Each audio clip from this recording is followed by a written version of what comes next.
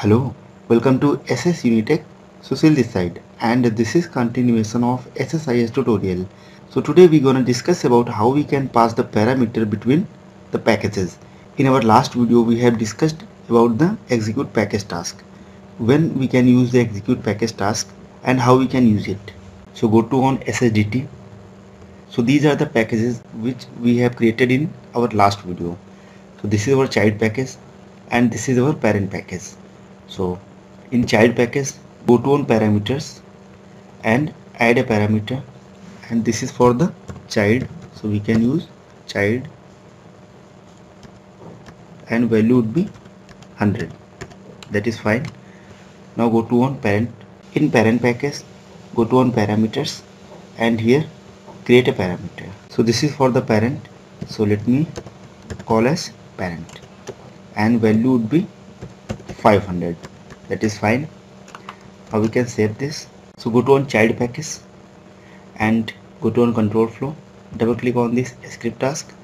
And here let me select our parameter. That is package child. And click on edit script. Here I wanna display the value for that parameter.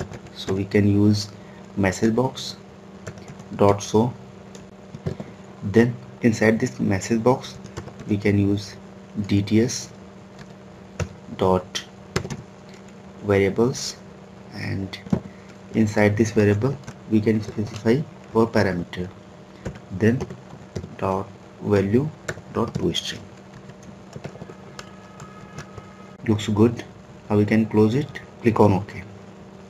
So this time if we will independent execute our child package then it will reflect this is our child package click on ok and value would be 100 now click on ok now we can stop this package.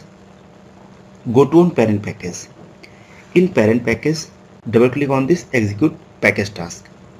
In our packages we have specified our child package. That is fine.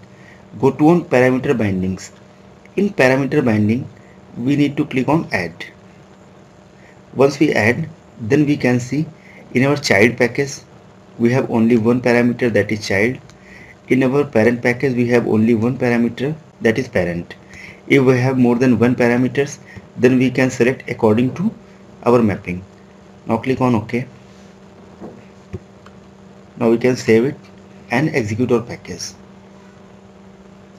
So this is our child package. Looks good click on ok so here we are getting 500 last time when we have executed this package then value was 100 but this time 100 is overwritten by 500 now click on ok that is fine. This is our parent package and stop this package. So i hope you have understand how we can pass the parameter from our parent package to child package.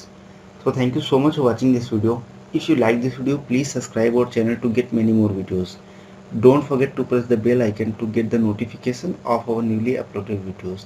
Thank you so much.